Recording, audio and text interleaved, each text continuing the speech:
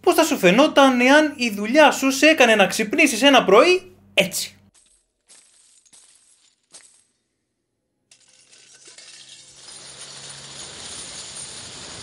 Δεν ξέρω αν πιστεύεις αν τα λεφτά φέρνουν την ευτυχία ή όχι, πάντως την επιτυχία την επιβεβαιώνουν. Ειδικά όταν φτιάχνεις ταινίες. Σήμερα λοιπόν θα δούμε τις ταινίες που τίναξαν την μπάγκα στον αέρα. Τις ταινίες που γέμισαν και συνεχίζουν να γεμίζουν τις τσέπες των δημιουργών τους. Τις ταινίες με τα μεγαλύτερα εισπρακτικά κέρδη όλων των εποχών. Επειδή λοιπόν ο χρόνος είναι χρήμα και εμείς εδώ δεν έχουμε και πολύ, φύγαμε!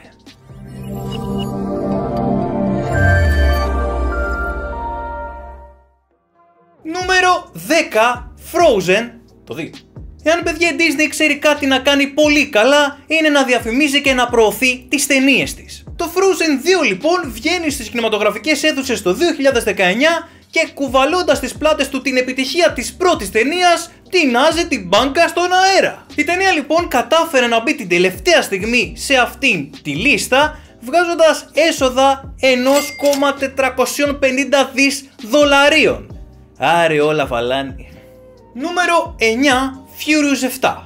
Το 2015 ήταν αρκετά δυνατή χρονιά και θα καταλάβετε γιατί το λέω αυτό. Οι δημιουργοί των Fast and Furious καταλαβαίνουν πια πως δεν είναι fast και το βγάζουν από τον τίτλο της ταινίας τους. Πέρα από την πλάκα guys, το Furious 7 είναι η πιο κερδοφόρα ταινία Fast and Furious και αυτό δεν το οφείλει στην ποιότητά της, αλλά σε δύο παράγοντες. Σε μία συγκυρία και σε μία προστίκη. Ο Paul Walker φεύγει το 2013 ευνηδίως από τη ζωή και όλος ο πλανήτης μένει κάγκελο. Ας μην κρυβόμαστε παιδιά, πολλοί στεναχωρήθηκαν με αυτήν την είδηση, όμως άλλοι πίσω από τα παρασκήνια έτριβαν τα χεράκια τους. Το Furious 7 έμελε να είναι η τελευταία ταινία που εμφανίζεται ο πολύ συμπαθής ηθοποιός και αυτό όπως καταλαβαίνετε εκτόξευσε τη φήμη της ταινίας αλλά και την επιτυχία της. Και σαν κερασάκι στην τούρτα ήρθε και η προσθήκη του Dwayne Johnson να, πώς να το πω, να ολοκληρώσει αυτό το πάρτι της επιτυχίας. Το αποτέλεσμα έσοδα ύψους 1,516 δις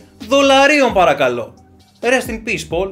Νούμερο 8 Marvel's The Avengers. Το 2012 ένα από τα παιδικά μας όνειρα γίνεται πραγματικότητα. Οι εκδικητές φτάνουν στη μεγάλη οθόνη και όλος ο πλανήτης τρελάθηκε. Τέσσερα χρόνια μετά την απαρχή του MCU με την ταινία Iron Man 1, η Marvel βγάζει το βαρύ της πυροβολικό.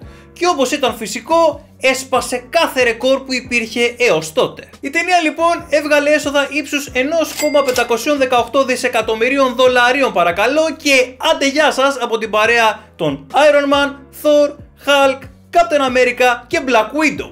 Το Hawkeye ξέχασες. Ποιος είναι αυτός; Νούμερο 7 The Lion King του 2019 όμως. Η αλήθεια είναι πως σε αυτή τη λίστα θα έπρεπε να βρίσκεται το πραγματικό Lion King και όχι το realistic remake του.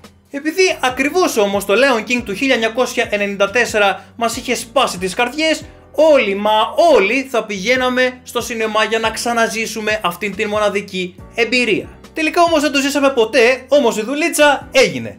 Έσοδα 1,607 δις δολάρια για το τσόφαυρο και το επιτελείο του. Νούμερο 6 Jurassic World. Μαντέψτε πότε βγήκε αυτή η ταινία. Το 2015. Τώρα μου χάλασε στη φάση. Τι ρωτάς τότε; Ρητορική ήταν η ερώτηση. Τι ήταν; Το 2015 λοιπόν αναβιώνει ένα από τα μεγαλύτερα franchise που έχει δει ο κόσμος του σινεμά. Το Jurassic Park μεταλλάσσεται σε Jurassic World και η νοσταλγία τραβάει από τη μύτη το κοινό και το χώνει στις κινηματογραφικές αίθουσες. Και η επιτυχία όπως όλοι καταλαβαίνετε ήταν αναμενόμενη. Γι' αυτό ακριβώς παιδιά έγινε αυτή η κίνηση για να βγάλουν λεφτά. Και αυτό ακριβώς έγινε. Η ταινία έβγαλε 1,617 δις παγκοσμίως. Και μετά σου λένε ότι οι δεινόσαυροι έχουν πεθάνει. Νούμερο 5 Avengers Infinity War. Η σειρά ταινιών Avengers ανακοινώνει πως ο κύκλος της θα κλείσει με δύο ταινίες και αυτό αρκεί για να τρελάνει όλον τον πλανήτη. Σε συνδυασμό βέβαια και με το ότι το Infinity War ήταν ταινιάρα. Ήρεμα το λέω. Με αποτέλεσμα ο πανζουρλισμός να γίνει ακόμα μεγαλύτερος και η ταινία να φέρει 2,048 δις δολάρια στα ταμεία της Marvel. Νούμερο 4 Star Wars The Force Awakens.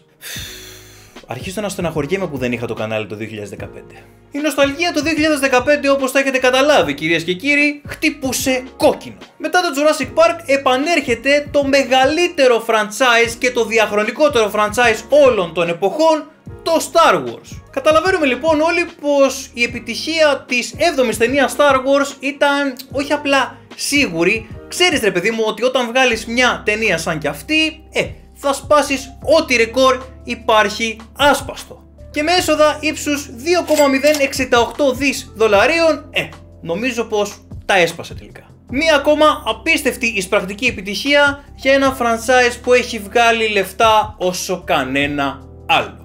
Νούμερο 3. Τιτανικός. Όσοι είστε λίγο πιο παλιοί σε αυτό το κανάλι, αυτήν την ταινία θα τη γνωρίζετε αρκετά καλά. Ο James Cameron λοιπόν παίρνει την πιο mainstream ιστορία, της γράφει ένα ακόμα πιο mainstream σενάριο και με τη σκηνοθετική του ιδιοφυΐα αλλά και το απίστευτο cast καταφέρνει το ακατόρθωτο να φτιάξει μία ταινία για όλους. Και όταν λέω για όλους, το εννοώ. Για όλους. Οπότε παιδιά ο Τιτανικός ήταν καταδικασμένος να πετύχει εξ αρχής και αν θέλετε τη δική μου άποψη, είναι η καλύτερη και πιο ολοκληρωμένη ταινία που βρίσκεται στη σημερινή λίστα. Ο Τιτανικός λοιπόν μπορεί να βυθίστηκε όμως στην επιφάνεια έβγαλε 2,187 δις δολάρια το 1997. Αυτό νομίζω πως τα λέει όλα. Νούμερο 2 Avatar.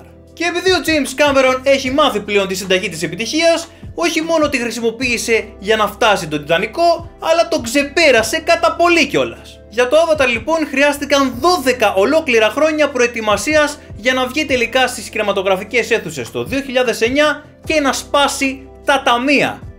Τα έσπασε στην πραγματικότητα όμως. Ήταν επίσης η πρώτη ταινία που κυκλοφόρησε στους κινηματογράφους σε 3D και αυτό νομίζω πως ανέβασε ακόμα περισσότερο το hype. Και επειδή θέλω να το πω παιδιά, το Avatar είναι η μοναδική ταινία που έχω δει 3D στο σινεμά και άξιζε κάθε ευρώ που έδωσα παραπάνω για το εισιτήριο. Ήταν μια μοναδική εμπειρία. Ήταν πραγματικά 3D. Το Avatar λοιπόν αφήνει κληρονομιά στους δημιουργούς του 2,789 δις δολάρια και από τότε ο Κάμερον κάνει αιώνιες διακοπές. Γιατί να δουλέψει άλλωστε, έχει ανάγκη. Παιδιά νομίζω πως όλοι το περιμένατε πως στην πρώτη θέση θα βρίσκεται η Marvel. Και φτάνουμε στο νούμερο 1 που βρίσκουμε την ταινία Avengers Endgame. Η ταινία που θα έκλεινε μια επιτυχημένη ιστορία 11 χρόνων ήταν φυσικό και επόμενο να φέρει όλο τον πλανήτη στο σινεμά. Να πω εδώ παιδιά πως όταν έψαχνα εισιτήριο μια εβδομάδα μετά από την πρεμιέρα της ταινίας, δεν υπήρχε θέση καινή σε σινεμά ούτε για δείγμα και να σημειωθεί πως έψαχνα για προβολή 4 ημέρες μετά. Τέτοιος χαμός γινόταν. Το Endgame λοιπόν σπάει το ρεκόρ εσόδων όλων των εποχών με έσοδα ύψους 2,790 δις δολαρίων. Όμως για να είμαστε δίκαιοι δεν το έκανε δίκαια αυτό.